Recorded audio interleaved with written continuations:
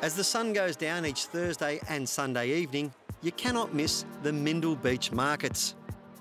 All these attractions are just a taste of what the Northern Territory has to offer. You can discover all you need to know about the top end by visiting travelnt.com.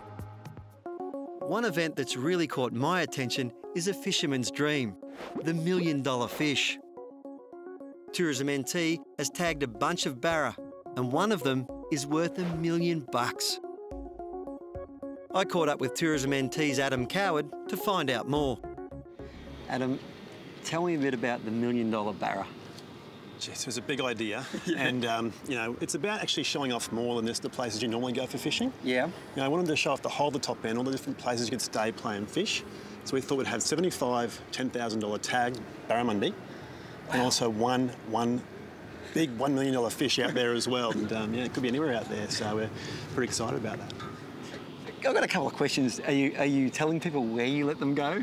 It's a very broad range. Mm-hmm. Um, you look at it, uh, uh, basically is yeah basically it's the top end. So yeah, okay, yeah. about yeah. Katherine, you know, Roper, Borroloola kind of areas, yeah. down to the Vic River. Okay. North. So I can't, I won't be there with my rod ready just as it comes out the tank. the whole idea is top secret. Explore, explore, and have some fun. Yeah, okay, right. So they're spread out across the top end. Um, are they any particular size to them?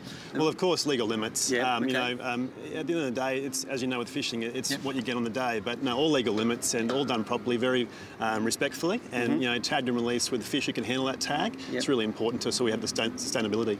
Oh, that's fantastic. Now, tell me something. How do I enter the win? Basically, go to milliondollarfish.com.au. Yep. Yeah. You register there. It's very easy. Yep. You can actually get chances to win your way to the NT as well.